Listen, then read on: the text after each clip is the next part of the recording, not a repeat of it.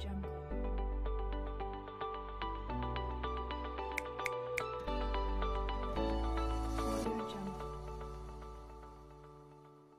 वालेकुम आज मैं आपके साथ शेयर करने जा रही हूँ बहुत ही मज़ेदार सा मटन स्टू बनाने की रेसिपी एक बार इसको आप अगर मेरी मेथड से ट्राई कर लेंगे तो आप हमेशा ही इसको इसी मेथड से बनाना प्रेफर करेंगे और आप इसका टेस्ट कभी भी भूल नहीं पाएँगे। वाकई में ये बहुत ही ज़्यादा मज़ेदार बनकर तैयार होता है। इसको आप अपने घर में बनाकर सभी फैमिली मेंबर्स को सर्व करती हैं तो यकीन मानिए सब आपसे इसकी रेसिपी पूछेंगे कि ये आपने कैसे बनाया है। तो आइए मज़ेदार सा मटन स्टू बनाना शुरू करते हैं और सबसे पहले इसके इंग्रेडिएंट्स देख लेते हैं। तो मटन स्टू बनाने के लिए मैंने यहाँ पर 750 ग्राम मटन ले लिया है। मैं इसको बोनलेस मटन में बना रही हूँ। आप चाहें तो इसको विद बोन भी बना सकते हैं। अब मैंने यहाँ पर तीन मीडियम साइज़ की प्याज को स्लाइस कट कर लिया है। फोर टेबल स्पून यानी कि वन फोर्थ कप दही लिया है, जो कि हल्का खट्टा है। यहाँ पर मैंने चार से पाँच लौंगे ली हैं और एक टी काली मिर्चें ली हैं।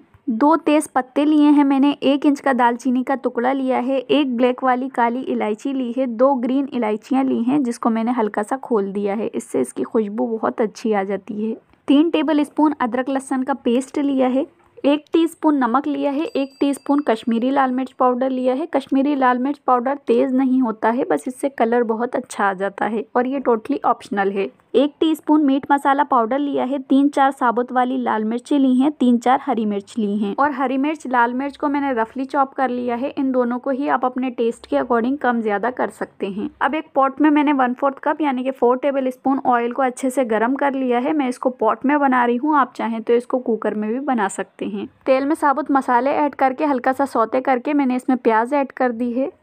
अब हाई फ्लेम पर लगातार चलाते हुए प्याज को हमें अच्छे से फ्राई कर लेना है। प्याज का हमें ज़्यादा कुछ कलर चेंज नहीं करना है, बस हल्की सी पिंकिश कलर पे आ जाने तक इसको हमें फ्राई कर लेना है।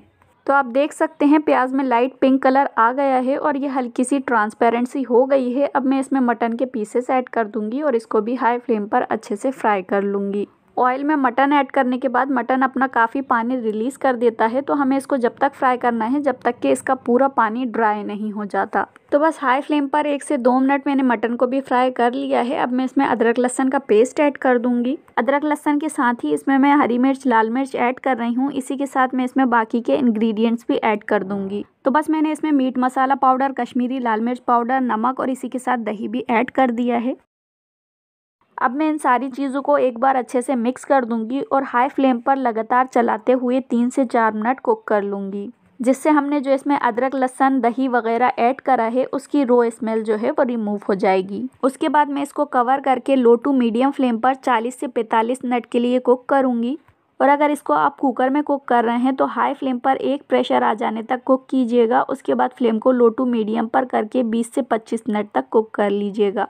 तो बस हाई फ्लेम पर मैंने तीन से चार मिनट इन सारी चीज़ों को अच्छे से कुक कर लिया है। उसके बाद मैंने इसमें आधा कप पानी ऐड कर दिया है। अब मैं इसको कवर करके कुक कर लूँगी लो टू मीडियम फ्लेम पर। तो बस यहाँ पर हमारे मटन को कुक होते हुए 40 से 45 मिनट हो गए हैं। एक बार हम मटन के पीस को चेक कर लेते हैं। तो आप देख सकते हैं मटन का पीस काफ़ी इजीली नाइफ से कट हो गया है। इट मीन्स हमारा मटन जो है वो परफेक्टली टेंडर हो गया है। अब हाई फ्लेम पर इसको हमें लगातार चलाते हुए जब तक कुक करना है, जब तक ऑयल सरफेस पे नहीं आ जाता और इसका जितना भी एक्स्ट्रा मॉइस्चर वगैरह है, पानी है, ये सारा ड्राई नहीं हो जाता। अब इसमें मैंने एक टी गरम मसाला पाउडर ऐड कर दिया है। अब हमें हाई फ्लेम पर इसको लगातार चलाते हुए अच्छी तरह से भून लेना है। तो बस मैंने इसको तीन से चार मिनट हाई फ्लेम पर लगातार चलाते हुए अच्छे से भून लिया है और आप देख सकते हैं हमारा मसाला जो है वो काफ़ी दानेदार सा हो गया है। और इसमें जितना भी पानी वगैरह था वो सारा ड्राई हो गया है ऑयल भी ऊज आउट हो गया है। बस इसमें अब मैं फाइनली फाइन चॉप किया हुआ फ्रेश धनिया ऐड कर दूँगी और इसको गर्मा गर्म डिश आउट कर लूँगी। तो बस इस तरह से बेहद आसान तरीके से हमारा मज़ेदार सा खुशबूदार मटन स्टू बनकर बिल्कुल रेडी है।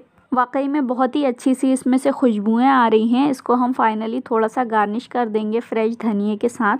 और इसको आप गर्मा गर्म सर्व कीजिए रोटी, चपाती नान ब्रेड या फिर पराठे पूरी के साथ। तो आप लोग भी इस मेथड से मटन स्टू को घर में ट्राई कीजिएगा। हंड्रेड परसेंट गारंटीड आपको ये बहुत पसंद आने वाला है।